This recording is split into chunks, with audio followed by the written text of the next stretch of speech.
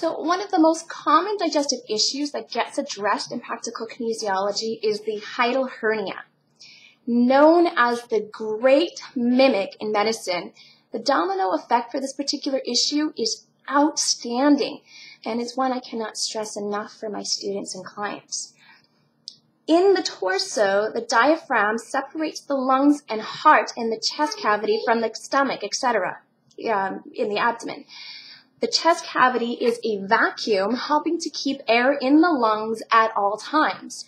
The abdomen is crammed full of organs that seem to have nowhere to go. Everything's kind of tightly packed in a small area. The vacuum in the thoracic cavity helps to create a slight suction, and the pressure of the contents of the abdomen does the rest. The upper portion of the stomach will slide up into the diaphragm, causing several things to happen at once. One, the diaphragm does not move easily on respiration, so some shortness of breath is common. Uh, two, the stomach musculature cannot function as easily, so some stomach upset and gas is common. Um, three, if the stomach slides far enough into the diaphragm, it may bulge above the diaphragm, encroaching on the heart and causing um, disturbing heart function. Um, so that'd be like heart palpitations. And four, difficulty breathing while lying on the back is common because of the pull on the diaphragm by the stomach. Now, those are some of the most noticeable ones. Um, most people will experience this as heartburn, and we're going to get into that. But here's where we get into some of the more serious stuff, okay? So, five, the upper portion of the stomach contains specialized cells called oxyntic cells. These cells are called upon when the stomach needs to break down proteins into similar components called amino acids. Proteins are too large and complex for blood absorption. In the stomach, they are broken down by acids to their simplest form. The oxyntic cells concentrate blood from the circulatory system into hydrochloric acid. The acid is very strong and when secreted into the stomach will mix with the protein to release the amino acids. If the food is not protein, the oxyntic cells are dormant. When the upper portion of the stomach has slid up into the diaphragm, the oxyntic cells produce acid as requested, but it can't get to the food in the stomach. Instead, it stays in the upper portion of the stomach, irritating the lining. That's heartburn. Um, the demand for more acid produces a continuous frustrating cycle.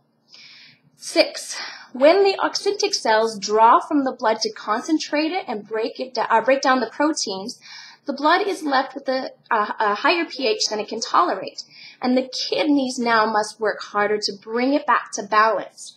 Your kidneys use the urinary system to eliminate excess alkalinity left behind normally causing a need to urinate shortly after a meal.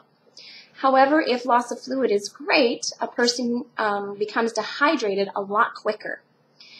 Seven, the excess alkalinity produced by the trapped oxyntic cells is often more than the kidneys can handle alone.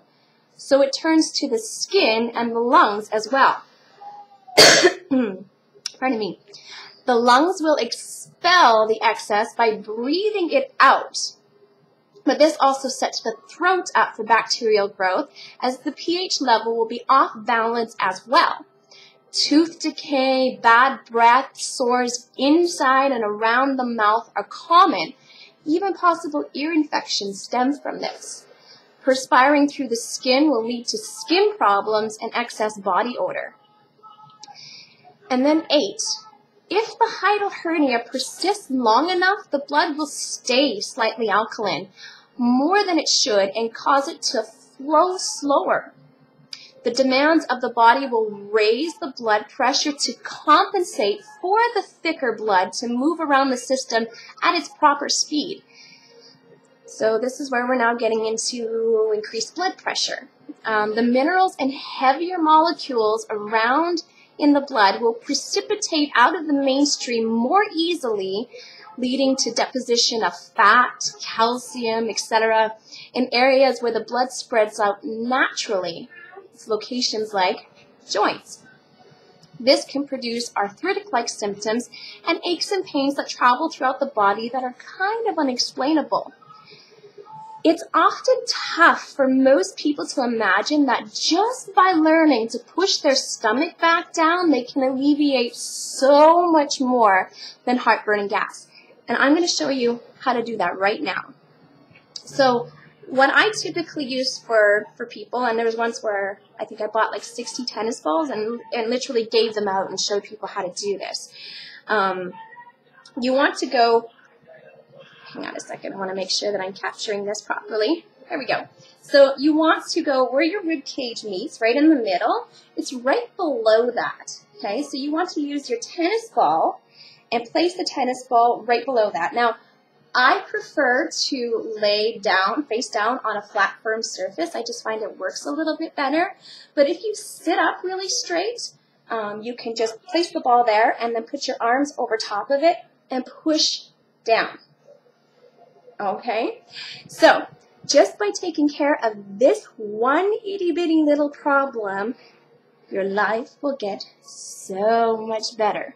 Stay tuned. I will talk about some more um, common issues as the week goes by. Bye.